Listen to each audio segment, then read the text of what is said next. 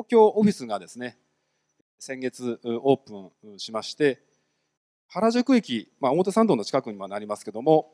クラスコの東京オフィスということでこういったですねビルの中に入らせていただいております。でこちらの方のですねオフィスの方はいろんな業界の人がですね一緒に使うようなオフィスなんですね。普通は一部屋に1社しかいないんですが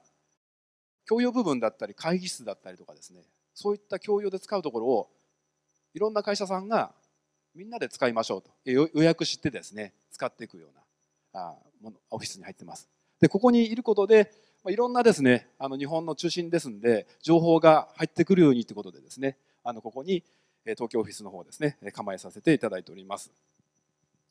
今後ですねあの東京の方はあのまだまだこう人口もですね増えていくと。